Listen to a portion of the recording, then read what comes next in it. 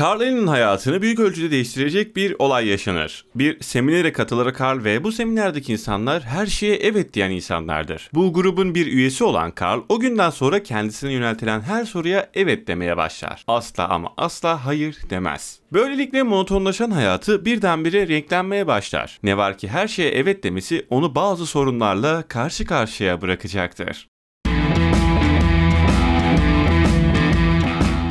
2008 yılında vizyona girmiş olan ve hikayesini Danny Willis'ın aynı isimli kitabından alan Peyton Reed'in Yes Man filmi, Jim Carrey'nin başrolünde olduğu komedi drama filmi. 1 saat 44 dakikalık bir uzunluğa sahip Bay Evet filmi, her şeye evet diyen insanların bulunduğu bir seminere katılarak tek düze giden hayatını birdenbire değiştiğini fark eden Carl Allen'a aktarıyor bizlere. Çoğumuz Jim Carrey'i The Truman Show ya da Eternal Sunshine of the Spotless Mind filminden tanırız. Yes Man filmiyle bazılarımız mutlaka yeni tanışıyordur Jim Carrey ile. Emin olun sevgili sinema severler, The Truman Show kadar güleceğiniz yerler olduğu kadar düşündürücülüğü de var bu filmin. Carl, I know you're not saying anything. Carl, get outside. I know you're not talking.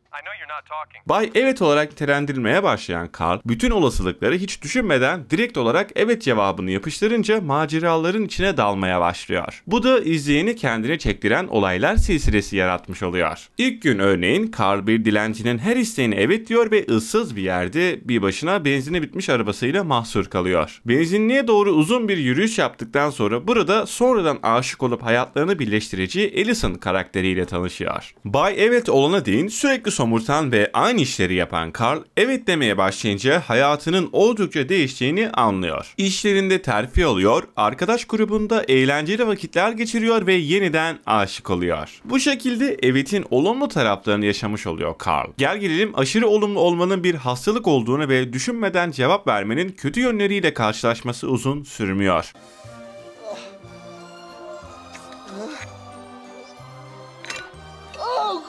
Kendini evet kelimesine sıkışmış gibi hisseden Carl yeniden ipleri eline alıyor. Evet demenin aslında ne kadar sorunlu olabileceğini anladığında ise eski hayatına geri dönüyor fakat yeni bir kişilikle. Oyunculukları gerçekten iyi olan Yes Man, komedi türünde Jim Carrey'nin ne kadar başarılı olduğunun bir göstergesi niteliğinde. Jest ve mimiklerini bu kadar iyi bir şekilde kullanabiliyor oluşu izlerken hiç beklenmedik anda gülmenize sebep olabiliyor. İzlemeye başladıktan sonra başından kalkamayacağınız bir film. Başlar başlamaz sizi gerçekten ekrana kilitliyor çünkü olaylar ardı ardına yaşanıyor ve silik bir karaktere sahip olan Carl değişmeye, farklı şeyler denemeye başladıkça izleyeni büyük bir merak sarıyor. 6,8 puan olarak IMDb'de ortalama bir derece tutturmuş, gişede çok iyi başarı yakalayamamış olsa da gayet akıcı ve eğlenceli bir film olmuş Yes Man.